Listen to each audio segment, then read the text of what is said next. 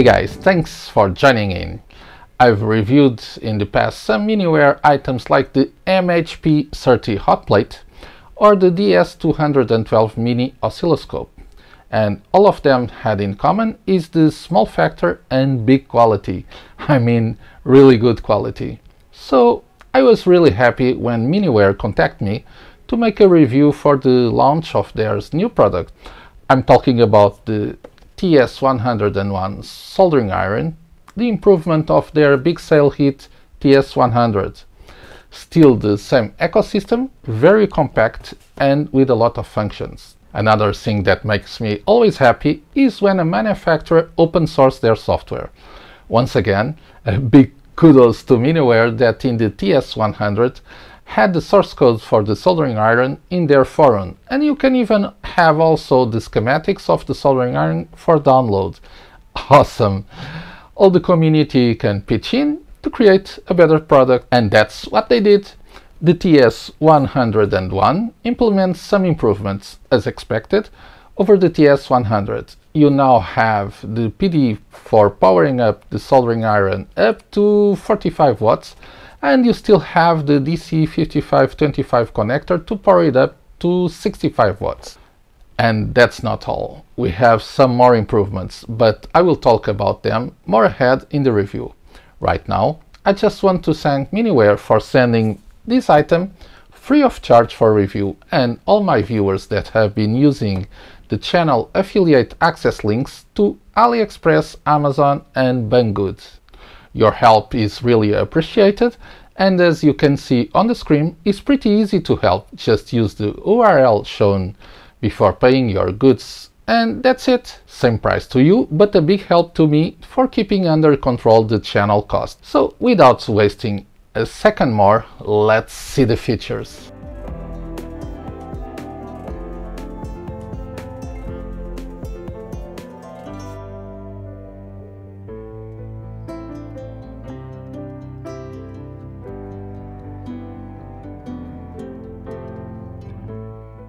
So as usual, let's do the unbox and see what is delivered uh, in this product.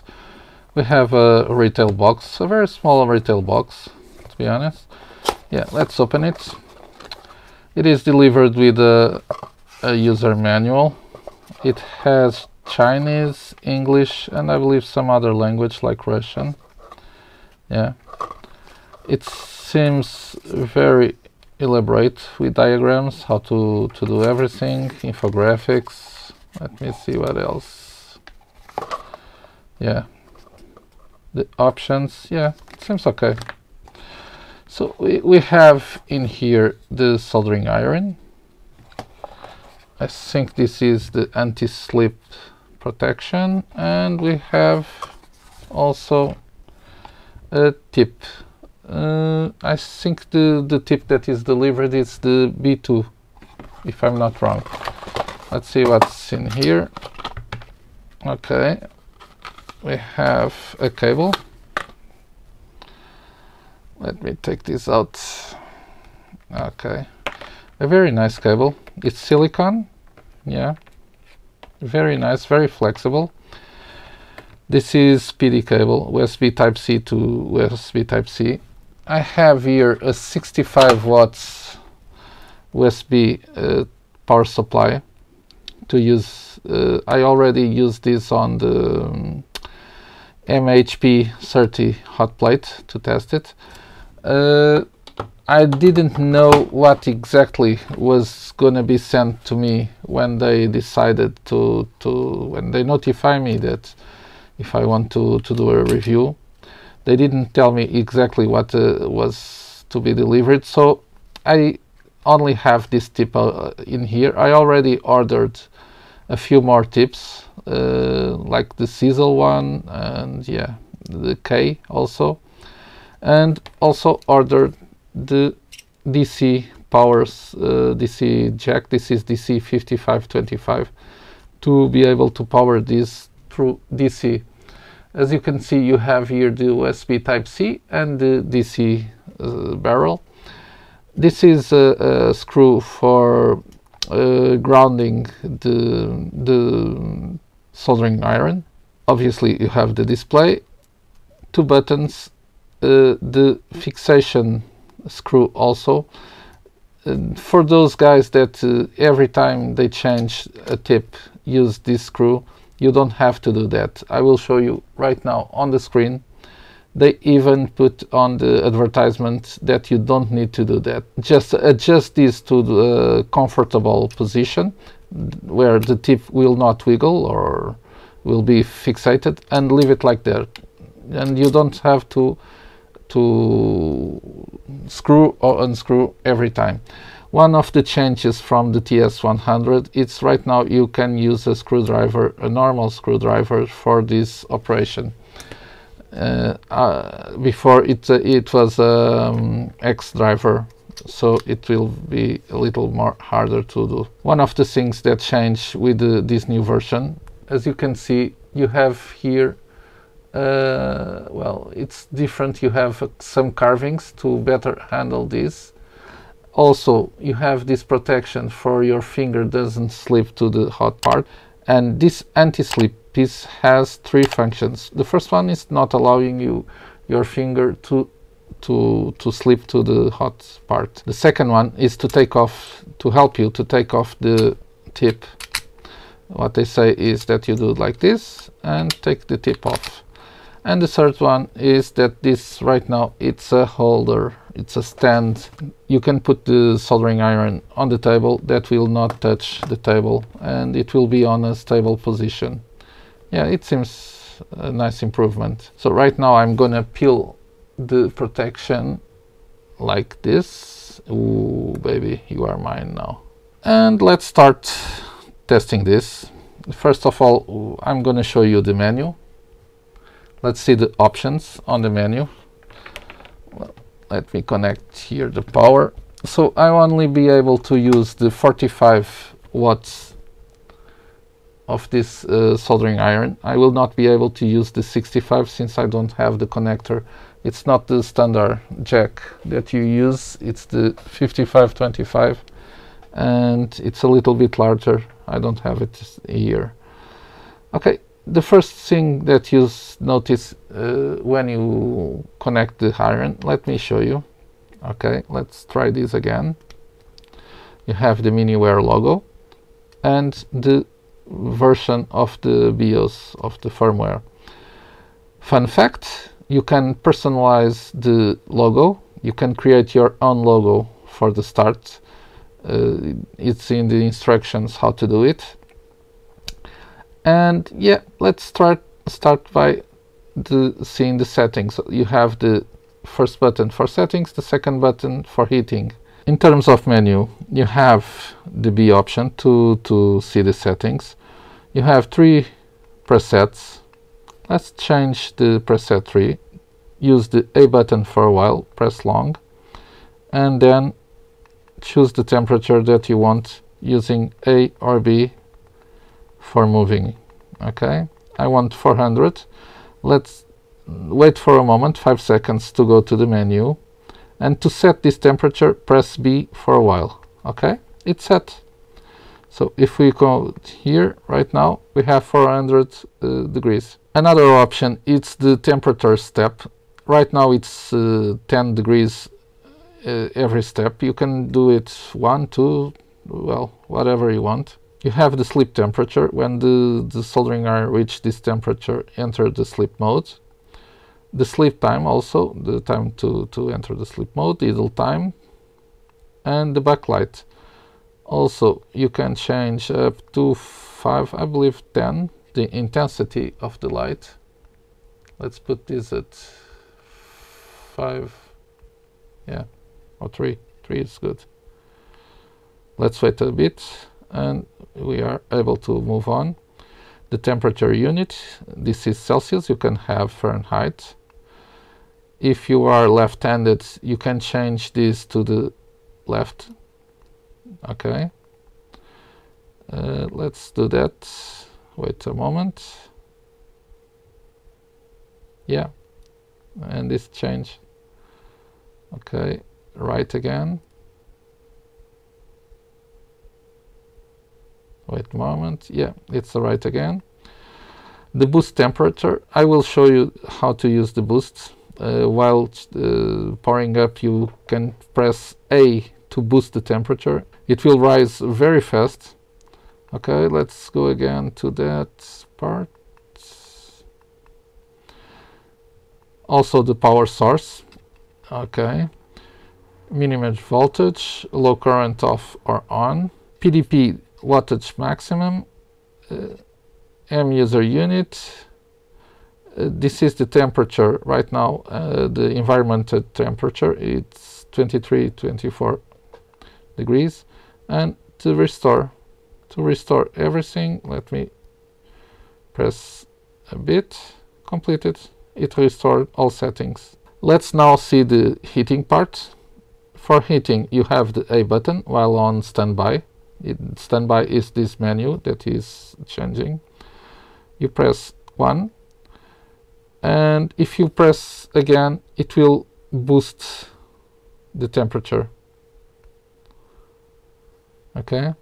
To change the the preset just press 1 so it's with 20 volts from the power supply. Right now it's with preset 1 it's reducing the temperature. It didn't take long. Let's take this to 400 okay it's rising to 21 volts and as you can see it took only a few seconds to to get to the 400 very fast to to do that. Uh, I have a 60 watts uh, power supply but anyway this was very fast. Uh, okay and we can set the working temperature from the minimum 50 degrees to the 400 degrees okay wait a, a, moment. It will yeah and it will take you to 400 only a few seconds. This is amazing. It took only a few seconds to to reach the 400 degrees on USB type C. You have to see that I'm not using the 24 volts DC barrel. Yeah, when you press the A, he will take you with the boost to 380. You have also here an indicator of the energy consumed. The, okay, 400. You can see that it's currently using a lot of energy and it is at 400 this is almost immediate. Very nice. Now I will test this on a board. Let's start the heating process. Yeah I'm gonna take this to 400 it is the T3 preset. You can see here full power full energy. It will now yeah 400 very fast.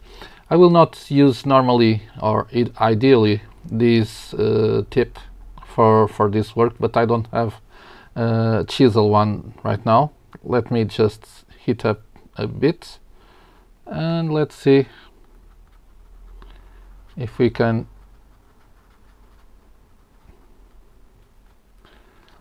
yeah even so it seems to adhere very very well. Yeah. As I told you this is not my first choice of tip for this work. But yeah for me this is okay. I think this is an awesome tool and if you notice there the the temperature going down and he quickly recovers it takes only a few seconds to, to recover uh, when the temperature goes down. Oh, see? Very fast and yeah, it almost instantly melt the, the solder. Awesome. Very satisfied with it. Let's let's do another one in here.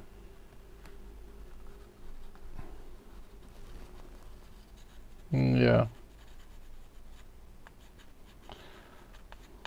This is awesome.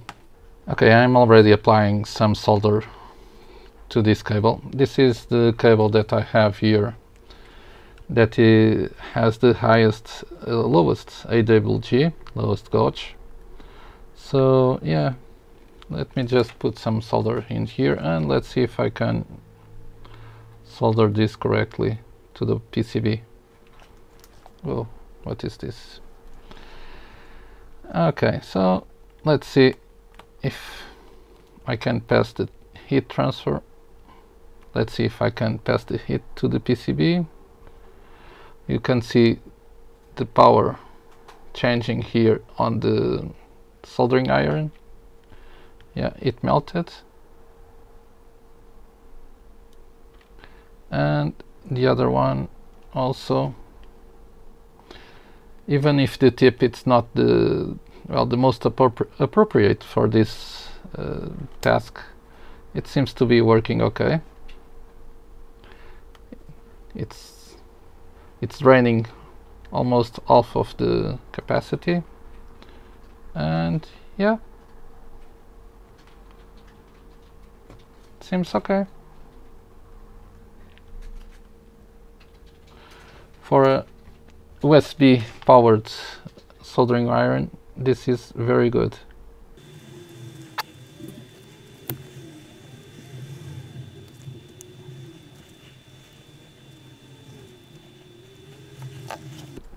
Okay, task done. You can see that is perfectly soldered in here. Very well. I'm pretty happy with this little guy. Very nice unit. Okay, let's move on to the conclusion. Once again, I think Miniware did a great job with another product. On my previous reviews, the quality of the products I reviewed was clear, but sometimes the price was not for all wallets. As you probably know, my mantra is you get what you pay for, and the quality was there. So for the quality you get, it was a reasonable price. With the TS101, the price is real bargain for what you get. The quality is still here, no compromise, but they managed to do these products, the soldering irons, in a very good price range. The TS101 costs around 62 euros or dollars because at the time of this recording was about the same exchange rate. This is a very good price considering this soldering iron has presets and a bunch of features available to you. Don't forget that you can power this soldering iron with a power bank or a LiPo battery.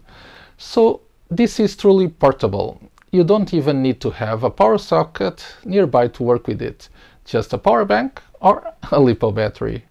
The tips are the same of the TS100 and are very accessible. You can find them on AliExpress for around 5 euros and the Miniware Originals that I strongly recommend for around 10 euros. I think that you have around 10 standard different tips available. Hmm. If you got convinced as I was with this TS101 soldering iron, don't forget that you have the affiliate link for buying it on the description and also the access links uh, to AliExpress, Amazon and Banggood here on the screen.